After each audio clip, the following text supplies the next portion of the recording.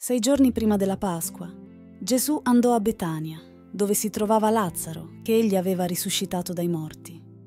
E qui fecero per lui una cena. Marta serviva e Lazzaro era uno dei commensali.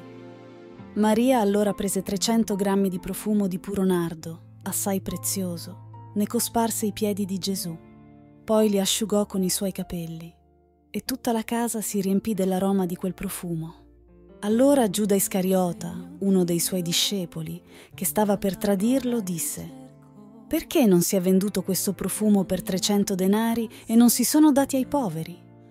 Disse questo non perché gli importasse dei poveri, ma perché era un ladro e, siccome teneva la cassa, prendeva quello che vi mettevano dentro. Gesù allora disse, Lasciala fare, perché ella lo conservi per il giorno della mia sepoltura. I poveri, infatti, li avete sempre con voi, ma non sempre avete me.